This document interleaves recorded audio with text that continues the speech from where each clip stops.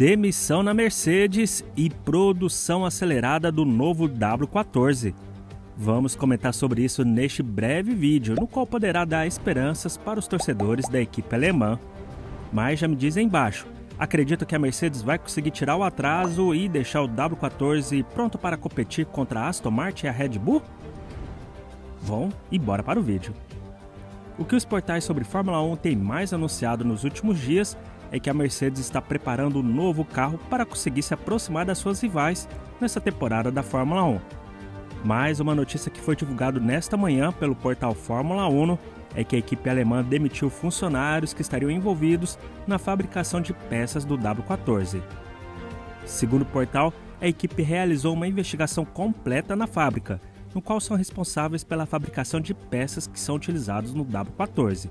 O resultado dessa investigação detectou que algumas peças usadas no carro no túnel de vento eram imprecisas e produzidas fora da tolerância permitida. Esse problema não só prejudicou o desenvolvimento do W14, mas também em termos de correlação, ou seja, o que era visto do W14 no túnel de vento estava diferente do comportamento do carro na pista. E segundo o portal, isso levou à demissão de algumas pessoas que acompanhavam a fabricação. Até o momento da gravação desse vídeo, a equipe Mercedes não confirmou isso e também não foram informadas quantidade de pessoas que foram demitidas. É, cabeças rolaram na equipe Mercedes.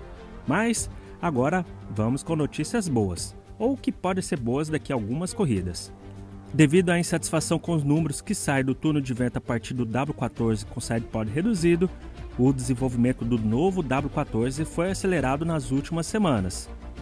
Para além das novidades que irão afetar a aerodinâmica, incluindo o sidepod e a lateral do carro, como já foi mencionado por outros portais, haverá também alterações mecânicas e especialmente na questão de arrefecimento. Mas parece que a mudança não será tão grande assim, pois, segundo o portal, o chassi continuará a ser o atual, ou seja, o W14 terá mudanças em cima do carro atual da equipe, não um carro totalmente novo. Por isso, não espera se ver um carro semelhante à Red Bull ou à Aston Martin, pelo menos por enquanto. Não foi explicado por que não será feito um novo chassi. Pode ser que seja por causa do teto de gastos? Bem provável. Mas antes de tudo, vou repetir aquela famosa frase que eu sempre falo em vídeos mais polêmicos. Vamos aguardar para ver. Tudo indica que até o Grande Prêmio de Imola, que acontecerá no dia 21 de maio, conheceremos o novo W14. Bom, a fonte desse vídeo eu vou deixar no comentário fixado e assim que tivermos mais notícias, trago para vocês aqui no Point F1. Se curtiram o vídeo, não esqueça de deixar o seu like, um forte abraço e tchau!